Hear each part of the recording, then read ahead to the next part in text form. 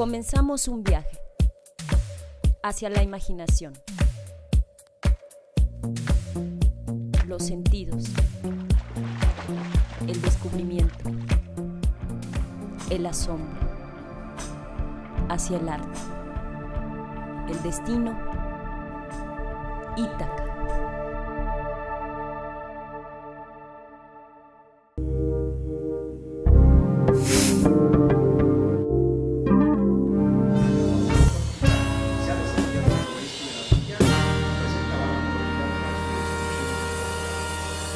Guacamole es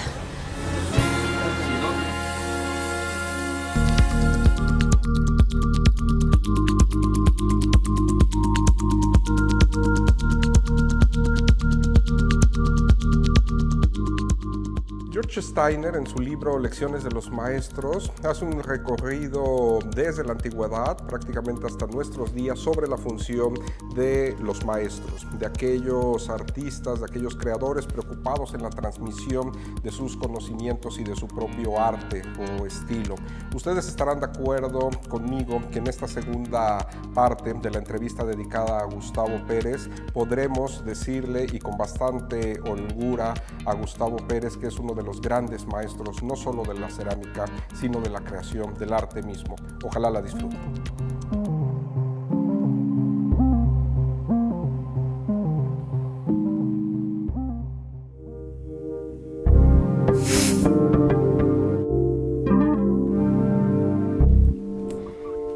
Gustavo, hablábamos del alma en que pones en cada pieza nosotros como espectadores, como gente común que admiramos la obra, siempre tenemos esa inquietud de querer descifrar el, espíritu, el misterio que cada pieza de una, o tu obra lleva.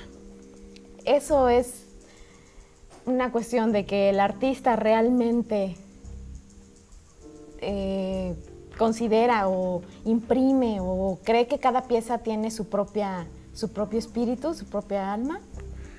Mm, no, no, no, no es así.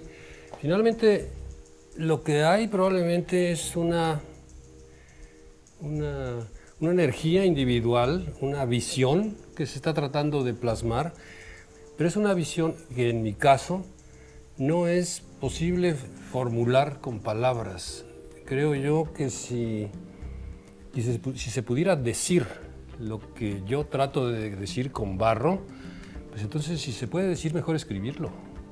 Habría que escribirlo. Justamente para que sea cerámica, para que sea escultura, para que sea una vasija con sus características eh, expresivas, tiene que ser mm, específicamente cerámico y no, no discurso. No hay, hay ideas atrás, pero son ideas formales. Y lo que puede ser que transmita una pieza es una, una sensibilidad quizás y puede sugerir. ¿sí? La cerámica transmite fundamentalmente sensaciones. ¿sí? Es, un, objeto con una, con una dureza, con una, con una fuerza o delicadeza, un brillo, una tersura, una rugosidad. Eh, su forma puede sugerir y permitir asociaciones eh, orgánicas, nos podemos identificar muy fácilmente con una, con una vasija. Vaya, se ha dicho mil veces, una, olla es un vientre, ¿verdad? Y, cada jarra que, utilizamos tiene un brazo, que es su asa esta, y tiene un pico, que es el vertedero, y tiene un pie, y tiene una panza, y tiene un hombro, vaya. Eh, hay quien habla de las jarras como de, como de su tía, vaya.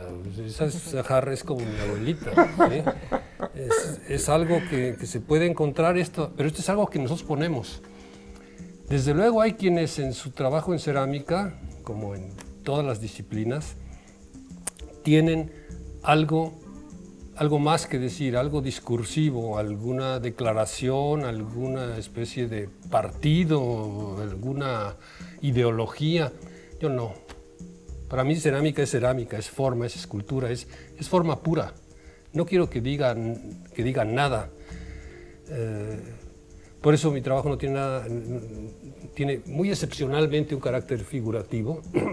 Muy excepcional. Muy excepcionalmente tiene un carácter figurativo y siempre es forma, forma pura. ¿sí? Y los diseños que hago en la superficie son, son diseños gráficos, ¿sí? es un juego gráfico que tampoco quiere representar nada, por más que muchos quieran ver constelaciones, mapas, eh, esquemas, diagramas. o la representación de un virus o de una mm, molécula, algo químico. Todas estas son asociaciones posibles y, y, entonces es más bien algo que yo, que yo hago inconscientemente, muy inconscientemente, y que dejo la interpretación al que lo vea. El que quiera ver eh, constelaciones, el que quiera ver mapas del mundo, el que quiera ver... Lo dejas a la libertad de... Sí, claro, esto, esto, es, esto es justamente lo que yo creo que le da su, su universalidad, digamos que, que la cerámica, a diferencia de la literatura, no, no requiere traducción. La cerámica, por eso se parece tanto a la música. Claro. Es forma pura, ¿sí?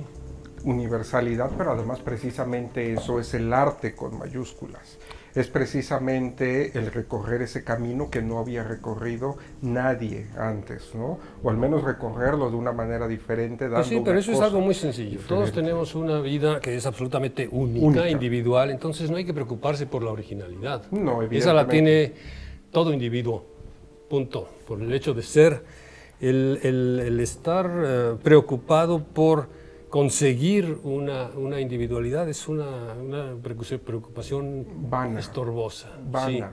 Porque, además no es la originalidad lo que se busca. Vamos a seguirle por el lado de la literatura.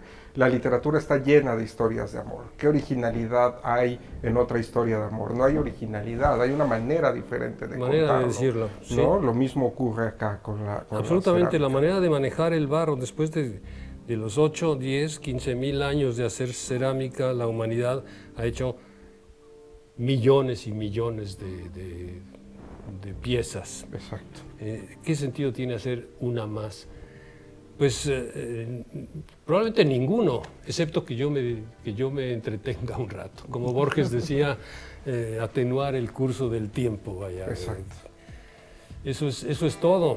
¿sí? Si esto puede resultar en algo que dé, que dé placer a, otros, que, que, permita eh, percibir algo, sugerir algo, eh, que haya este carácter poético, pues mejor que mejor, pero, pero lo fundamental es, es ese pasar el tiempo de una manera más grata. Pues eh, de una manera que uno, que uno ha conseguido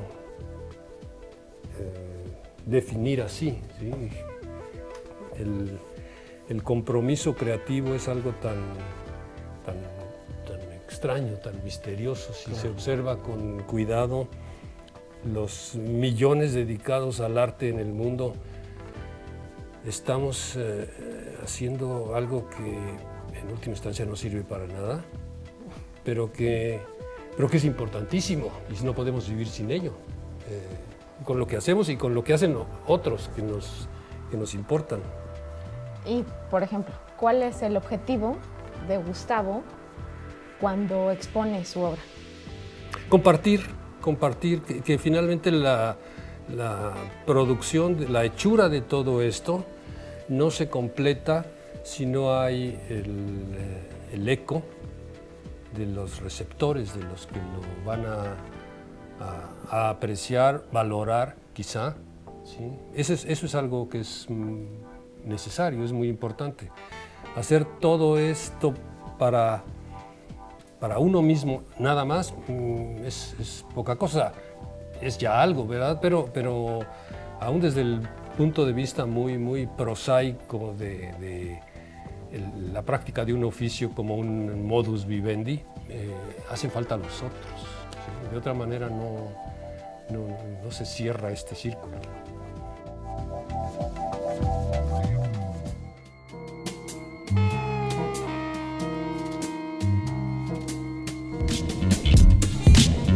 Variedad de pensamientos, diversidad de ideas musicales y personalidades que se mezclan se convierten en un guacamole, un proyecto donde la música surge.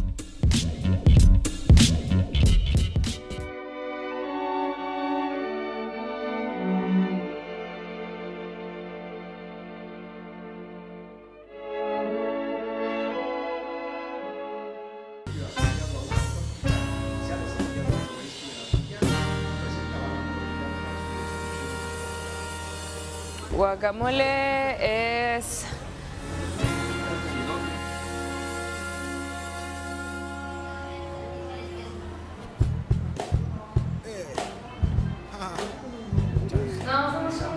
Una, ban- una banda de jazz. Una, una banda de jazz entonces. Jazz y hip hop. Creemos que eh, ya no es el ir a ver una banda tocar, sino es ir a tener una experiencia con esa banda, ir a pasarla bien y que después de ese concierto digas, wow, esta banda me hizo el día.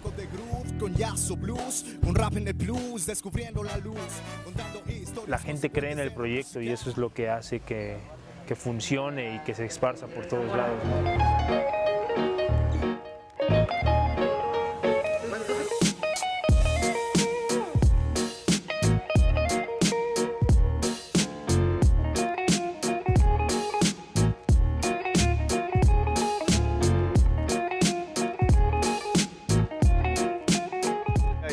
Empecé a escribir antes de, escuchar rap, me, me gustaba escribir. Tenía ahí como que un diario en donde apuntaba yo todas, todas mis cosas, mis pensamientos.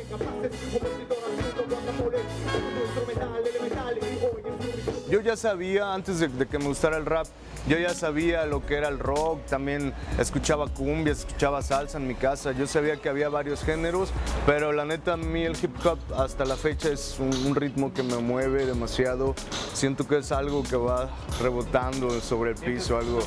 Sí, siento que, siento que con mi corazón está compatible, la neta. El la casa, directamente de Jalapa, Veracruz, hasta Gutiérrez Zamora representa. Yeah.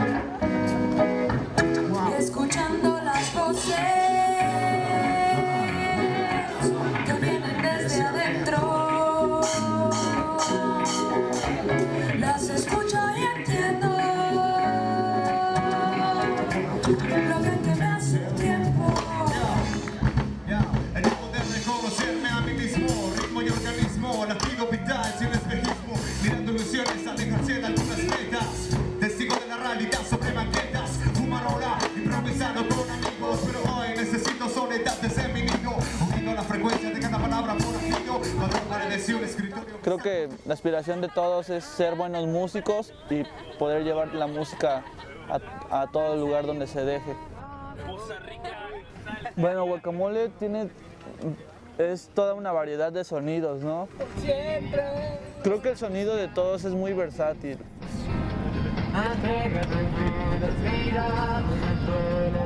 Güey, que estás igualito que ese güey.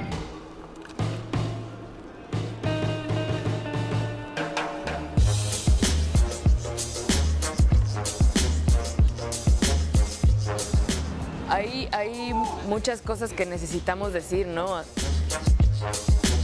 Yo, yo creo que Guacamole es una banda que, que tiene un gran, un gran corazón, ¿no? O sea, como que todos, como que todos hacemos que se bombee esa sangre dentro de todo el corazón de Guacamole.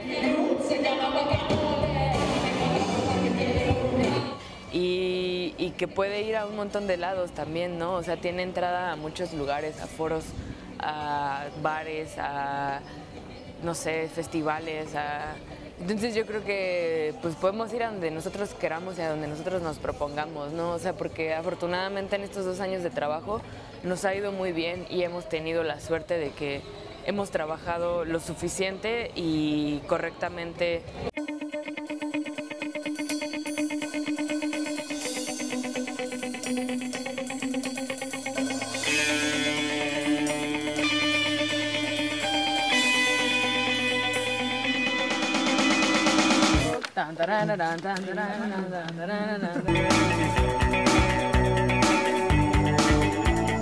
Préstame tu peine y peíname el alma.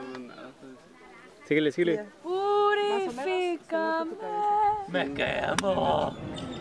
Pues porque es una combinación de distintos ritmos, de, de letras y, de cosas por el estilo, ¿no? La música está pensada así, ¿no? Para que de alguna manera tú la puedes aplicar a tu vida, ¿no?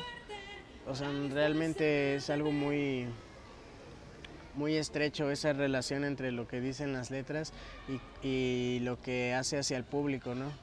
¿Sientes que la gente se identifica? Yo creo que sí, bastante.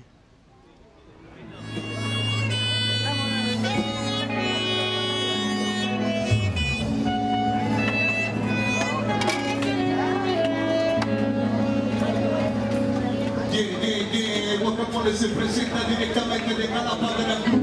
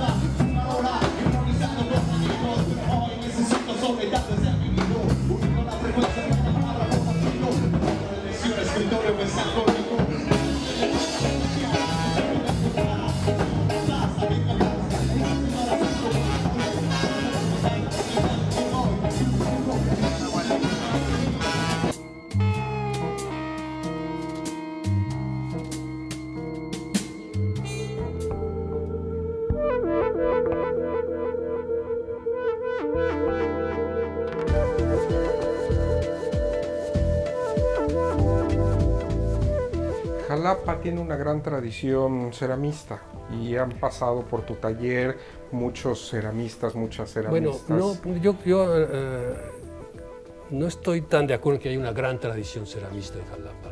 No, de dos no. décadas para acá, ¿no? Pues mira, eh, gran tradición de dos décadas no es gran tradición, esto es algo, algo nuevo, algo que llegó, que llegó por aquí. Vaya, somos unos cuantos que, que estamos haciendo cerámica aquí. ¿sí?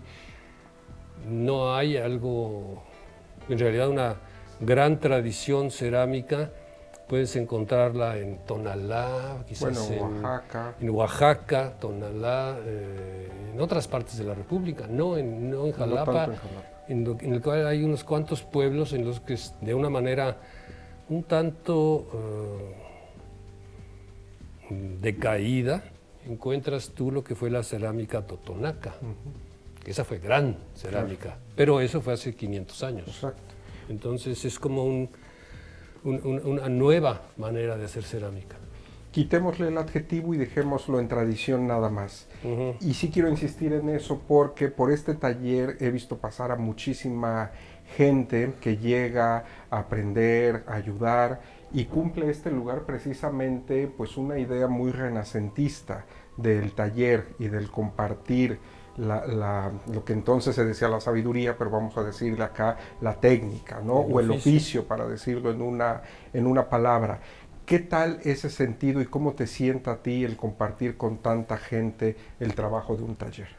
Bueno, a mí me, me parece importantísimo el, el transmitir. Mm, Lo que yo aprendí, lo aprendí de otros. En, sus fundamentos lo, lo re- lo aprendí de muchos en México, en Holanda, en Francia, en Japón, eh, en Hungría, en fin, en, dife- en diferentes momentos hubo, hubo gente de quien aprendí. Me parece muy importante que esa cadena de, de transmisión eh, la pueda yo continuar después de haber conseguido algo. ¿sí? Ese algo es para que, para que pase a otros. Eh, esta es la razón quizás por la que en los últimos años mi interés mayor es eh, por, por intercambiar o colaborar con talleres de, alfareros de- de- de México, alfareros de Oaxaca, eso es algo que he hecho en Oaxaca, en Zacatecas, eh, en Sudamérica, en Chile, en Argentina, en Brasil. Y, y no tanto, en los últimos tiempos, no tanto interés por hacerlo en Europa o en Estados Unidos o en Japón, porque allá hay muchísimos que pueden hacerlo muy bien. Creo que, que la responsabilidad es eh, acá donde, donde hay carencias, acá donde vale la pena eh, que apoyar. ¿no? La, la otra parte de este asunto del ser maestro es que yo no, nunca he dado clases y, y- y no tengo ningún puesto, ni jamás he tenido ni tendré, creo, un puesto en ninguna institución, ni soy maestro en una escuela. Eh, lo cual no quiere decir que no me interese enseñar, enseñar, sí, pero sobre todo, quizás en eh, el sentido del ejemplo, así es como trabajo yo. Dejo en manos de, Constantino fundamentalmente la transmisión de la técnica para los que vienen aquí al taller. La técnica la pueden aprender de los ayudantes y, y de mí quizás puedan aprender este, este sistemático eh, camino de, de novedad, esta- este cambio permanente en lo que hago. Esa curiosidad de la que hablabas. Pues eh, esta modificación del trabajo, este, este desarrollo, que no se vale repetirse, aunque esto es falso, porque en alguna forma uno está nutriéndose de lo que ya hizo antes, sí, pero, pero hay que hacerlo de una manera nueva, distinta. Entonces es- eso es lo que, lo que pienso respecto a la transmisión, a la, a la enseñanza. Muy bien, pues este ha sido Gustavo Pérez, este ha sido un programa más de Ítaca en el taller del ceramista Gustavo Pérez. Yo me van a perdonar, pero quisiera salir a este programa, cerrar con, va a parecer una vanidad y una grosería, pero hace tiempo escribí un texto para un catálogo y de veras que lo dije esa vez con mucha sinceridad y con mucho con mucho gusto y lo quiero decir ahora que estamos en el taller de Gustavo. Ya se sabe que uno es tierra y regresa a la tierra. A mí, cuando vuelva al polvo, me gustaría regresar en una pieza de Gustavo Pérez. Muchas gracias, Gustavo. Buenas ustedes. following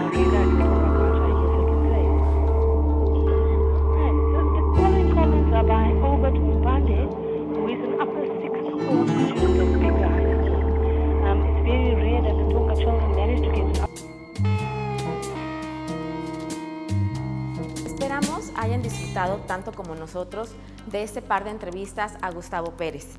En nuestra siguiente Ítaca tendremos la presencia de Héctor Bonilla, actor mexicano de cine, televisión y teatro. Los esperamos.